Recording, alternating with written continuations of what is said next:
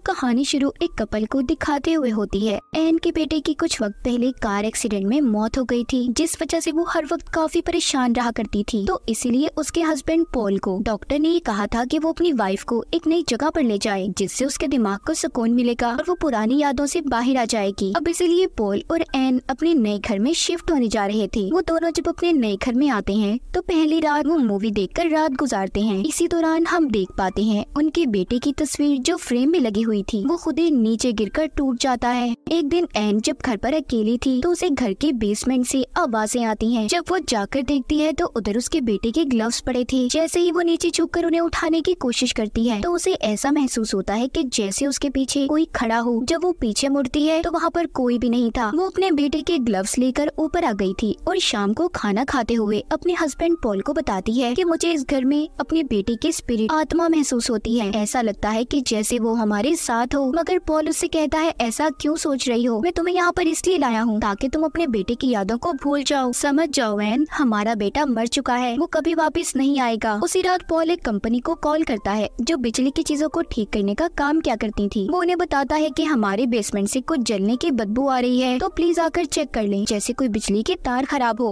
वो कंपनी बताती है की हमारा एक आदमी आपके पास आएगा, जो आकर आपके घर की इलेक्ट्रिसिटी बिजली को चेक कर लेगा। तभी वहाँ पर एन आती है, जो अपने बेटे की तस्वीर का टूटा हुआ फ्रेम लाकर पोल को दिखाती है और कहती है, मैंने कहा था ना, हमारे बेटे की आत्मा हमारे साथ है। देखो, उसे ये तस्वीर कभी पसंद नहीं थी, इसीलिए तो उसने ये फ्रेम तोड़ दिया। तभी इनके दरवाजे की बेल बजती है और इनकी मुलाकात एक कपल से होती है, जिनमें हस्बैंड का नाम डेव था। वो बताते हैं कि हम आपके पड़ोसी हैं और हम यहाँ पर आपसे मिलने आए हैं। ये सुनकर एन कहती है, हमें यहाँ पर आए हुए दो हफ़्ते हो गए हैं, मगर हमसे मिलने अभी तक कोई नहीं आया। ये सुनकर डेव कहता है, ये बात काफ़ी अजीब है। जब भी इस घर में कोई रहने आता है तो पूरे टाउन में अजीब अजीब बातें होने लगती हैं। पॉल जब उससे इस बारे में बात करता है कि ऐसा क्यों है डेव बताता है कि कुछ अरसा पहले यहाँ पर एक फैमिली रहती थी, जो पहली बार इस घर में शिफ्ट हुई थी। उनका एक फ्यूनरल पॉलर था मतलब कि वो मरे हुए इंसानों को तैयार करके उनको दफनाया करते थे। बाद में उनके लिए पूरे टाउन में ये बातें फैलने लगी कि वो फैमिली लाशों को मेडिकल हॉस्पिटल में बेच देते हैं और खाली कॉफिन ताबूत को कब्र में दफना देते हैं। जब इन सब बातों के बारे में टाउन के लोगों को पता चला तो उन्होंने उस फैमिली को यहाँ से बाहर निकाल दिया। फिर उस फैमिली का हेड शराब पीने लगा, जिस वजह से उसकी मौत हो गई। डेव की वाइफ उन्हें यहाँ पर जब कुछ बताने लगती है तो डेव उसे चुप करवा लेता है। फिर वो लोग यहाँ से जाने लगते हैं। डेव जाते हुए उन्हें ये भी बताता है कि ये घर बहुत पुराना है। आज तीस साल बाद कोई नई फैमिली इस घर में रहने आई है। वो इस घर को उन्हीं पुराने लोगों के नाम से पुकारता है। ये सुनकर पोल कहता है, नहीं, ये अब हमारा घर है। डेव की वाइफ जाते हुए एन से हाथ मिलाती, उसे कुछ पकड़ा कर जाती है। वो एक नोट था,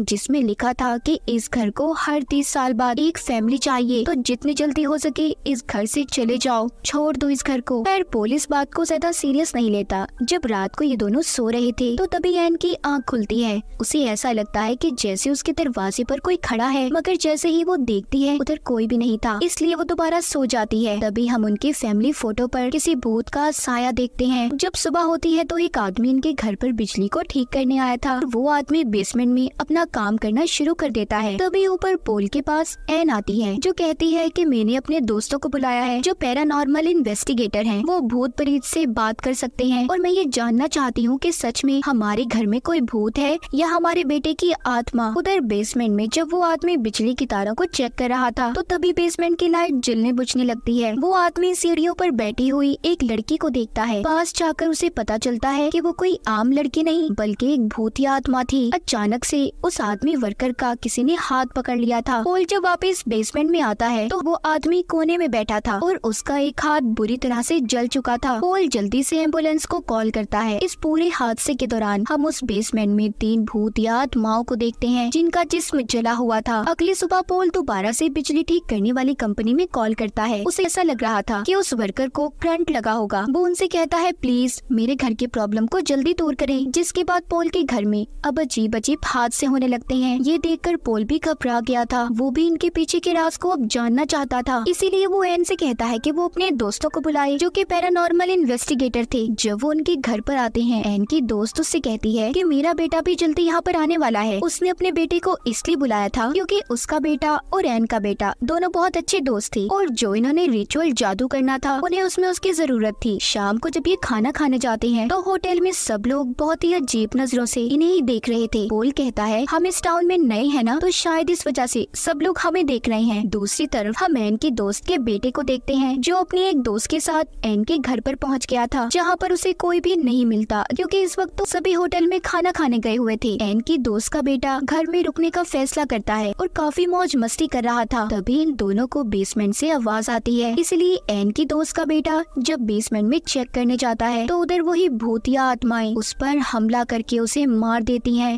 सब उस लड़के की दोस्त ने भी देखा था। वो ये सब देखकर बहुत डर गई थी, इसलिए अपनी गाड़ी लेकर यहाँ से भाग जाती है। मगर तभी जब उसकी नज़र अपनी गाड़ी के शीशे पर पड़ती है तो एक भूत उसकी गाड़ी में पिछली सीट पर बैठा था। इससे पहले वो लड़की कुछ करती, वो भूत अपना हाथ उसके जिस्म के आर पार कर देता है, जिससे उसकी भी मौत हो जाती है। उधर दूसरी तरफ़ एन, पोल और उनके दोस्त जब होटल से खाना खाकर घर आते हैं तो एन की दोस्त को अपना बेटा नहीं मिलता। उधर हमें वही होटल दिखाया जाता है, जहाँ पर एन सबको लेकर खाना खाने गई थी। वहाँ की मालकिन अपनी वेट्रेस से पूछती है कि वो चारों आपस में क्या बातें कर रहे थे। वो बताती है, बस वो कपल अपने दोस्तों को बता रहे थे कि वो अपने नए घर में कुछ अजीब महसूस करते हैं और उन्हें ये घर जल्द से जल्द खाली कर देना चाहिए। तभी होटल के दरवाजे पर डेव आता है, जिसको हमने एन और पोल के घर पर भी देखा था। जो उनका पड़ोसी था, जो आते ही उस वेट्रेस को मार देता है, जो ये सब बता रही थी। होटल की मालकिन उससे पूछती है कि, तुमने मेरी वेट्रेस को क्यों मार दिया? वो कहता है, तुमने उन लोगों के पास उसे क्यों भेजा था? यहाँ पर हमें कहानी का असल राज पता चलता है। देव बताता है, इस घर को हर तीस साल में एक फैमिली की ज़रूरत होती है, जिसे वो मार कर खा सके। पहले उस घर में सबसे पहले एक फैमिली आई, फिर उसके बाद पोलो रैन उस घर में शिफ्ट हुए। अगर ये लोग यहाँ से सही सलामत निकल गए तो बहुत कुछ गलत हो जाएगा। उस घर की डार्कनेस काली परछाई पूरे टाउन में फैल जाएगी, जिससे हर किसी की जान को खतरा होगा। यहीं पर हमें एक और बात पता चलती है कि जिस फैमिली के बारे में कहानी के शुरू में डेव ने एन और पोल को बताया था, जिनका फ्यूनरल पॉलर भी था, वो खुद यहाँ से कहीं भी नहीं गए थे, बल्कि इन टाउन के लोगों ने उन्हें यहाँ पर जलाकर मार दिया था। वो भूत आत्माएँ उन्हीं लोगों की थी जो उस घर में आने वाले हर इंसान को मार देती थी। मगर अब तक उन्होंने एन और पोल को नहीं मारा था, इसलिए डेवी फैसला करता है कि अगर उन भूतों ने एन और पोल को नहीं मारा तो हम मार देंगे। उधर घर में एन की दोस्त उसे बताती है कि मुझे तुम्हारे घर में कोई काली ताकत महसूस होती है। कोई तो है इस घर में जो बरसों से छुपा हुआ है, पर वो तुम्हारा बेटा नहीं है। जब रात होती है तो पोल को अपने दरवाजे के बाहर कोई खड़ा हुआ नज़र आता है। उसे ऐसा लग रहा था कि जैसे एन की दोस्त वहाँ पर खड़ी हो। पर एन की दोस्त तो अपने हस्बैंड के साथ सो रही थी। अचानक से वो भी उठ जाती है। उसे भी ड्राउना सपना आया था। वो अपने हस्बैंड को बताती है कि इस घर में बहुत सी लोगों की जान गई है। ये घर बिल्कुल ठीक नहीं है। उधर पोल के कमरे का दरवाज़ा भी खुद ही खुल गया था और उस पर एक भूत हमला कर देता है। मगर जल्दी उसकी आँख खुल गई थी। मतलब वो भी सिर्फ़ एक सपना देख रहा था। सुबह को नाश्ता करते हुए एन की दोस्त सबको बताती है कि मुझे इस घर में घुटन महसूस हो रही है। इसलिए एन उसे अपने साथ घर का कुछ सामान लेने मार्केट ले गई थी। घर में एन की दोस्त का हस्बैंड रिचुअल जादू की तैयारी कर रहा था ताकि वो इस रिचुअल के ज़रिए उन भूत आत्माओं से बात कर सके जो इस घर में रहती हैं। मार्केट में एन की दोस्त उससे कहती है कि तुम लोगों को जल्दी ये घर छोड़ देना चाहिए। तुम्हारे घर में किसी काली ताकत का साया है। तभी उधर डेवा जाता है, जो इनसे बात करने लगा था। एन की दोस्त जब उसकी बातों को सुनती है तो उसे वो अजीब लगता है। एन की दोस्त डेव से पूछती है तो जो फैमिली एन से पहले रहती थी, वो सच में ये घर छोड़कर चली गई थी? डेव कहता है हाँ ऐसा ही है। पर कहती है, नहीं,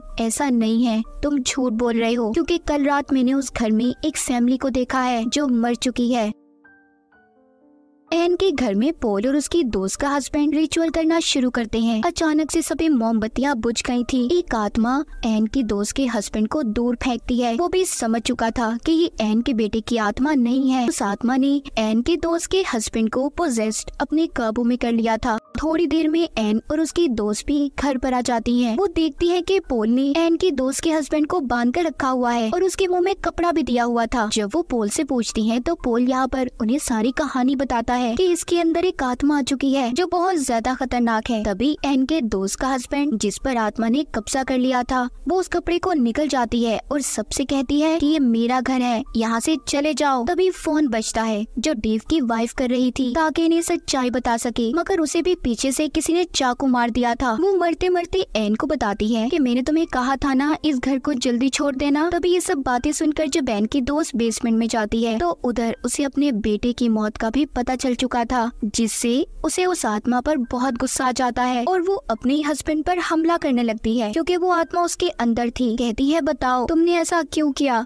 एन भी उस आत्मा से पूछती है कि, आखिर तुमने टाउन के लोगों के साथ ऐसा क्यों किया था? वो आत्मा बताती है, क्या तुम्हें उस इंसान डेव की बातों पर यकीन आ गया है। वो झूठ बोल रहा है। वो आत्मा बताती है। डेव ने इस घर में एक शैतानी आत्मा को जगाया था, जिसके लिए उसने मेरी सारी फैमिली को जलाकर सेक्रीफाइस उस शैतानी आत्मा के आगे कुर्बान कर दिया। और यही वजह थी, इस घर के बेसमेंट से हमेशा जलने की बदबू आया करती थी। और होटल की मालकिन को भी डेव इसलिए जानता था, क्योंकि वो उसके कल्ट का हिस्सा थी। एन की दोस्त ये सब जानने के बाद अब भी अपने हस्बैंड को होश मिलाने की कोशिश कर रही थी, ताकि वो आत्मा उसका पीछा छोड़ दे। तभी वो आत्मा एक रॉड उठाकर उसके हस्बैंड की आँखों पर उसी से वार करवा देती है, जिससे वो वहीं पर मर जाता है। ये नज़ारा देखकर तीनों यहाँ से भागने लगे थे। तभी एन की दोस्त जब दरवाज़ा खोलती है तो डेव ने आकर उसके सर पर गोली मार दी थी, जिससे उसकी वहीं पर मौत हो जाती है। एन और पोल घर के अंदर वापस भागते हैं। यहाँ पर डेव होटल के मालकिन और बाकी कल्ट के लोगों को भी ले आया था, जो एन और पोल को मारकर उस शैतानी शक्ति को देना चाहते थे। ये सभी पूरे घर में एन और पोल को ढूंढ रहे थे, मगर उस फैमिली के भूत, जिनको इन्होंने पहले जलाकर मारा था, वो एक एक करके इनको मार देते हैं। इस घर में खून की होली शुरू हो गई थी। हर तरफ़ मौत का समा था। ऐसा लग रहा था कि जैसे वो भूत डेव के लोगों को मारकर एन और पोल को बचाना चाहते हो। उधर एन के पास जब होटल की मालकिन उसे मारने जाती है तो एन ने अपने हाथ में बहुत से चाकू पकड़े हुए थे। वो सभी चाकू एक ही बार उस होटल की मालकिन के गले में मार देती है, जिससे उसकी भी मौत हो गई थी, जिसके बाद एन और पोल यहाँ से भागने लगते हैं। तो उनके सामने डेव आ गया था, जो कहता है कि इस घर को हर तीस साल बाद एक फैमिली का सेक्रीफाइस चाहिए। तो तुम्हें तो मरना ही होगा। मेरी मजबूरी है। तभी डेव के पीछे उस फैमिली का लीडर आ जाता है, जिसकी फैमिली को इसने जलाकर मारा था। वो डेव के सर को पकड़कर कुचल देता है, जिससे डेव भी अब मर चुका था। उस फैमिली की सभी आत्माएँ आज़ाद हो गई थी, जो यहाँ पर तीस सालों से कैद थी। एन और पोल को बेसमेंट से उनके बेटे की आत्मा की आवाज़ आती है, जो कहता है, मैं आप लोगों के साथ हूँ। यही वजह थी कि एन को बार बार अपने बेटे की आत्मा महसूस होती थी। हम पोल को देखते हैं, जो अपने बेटे की आवाज़ सुनकर बेसमेंट में जाता है। उसके चेहरे पर मुस्कुराहट थी और उसकी ये मुस्कुराहट को दिखाते हुए फ़िल्म की कहानी भी यहीं पर खत्म हो जाती है।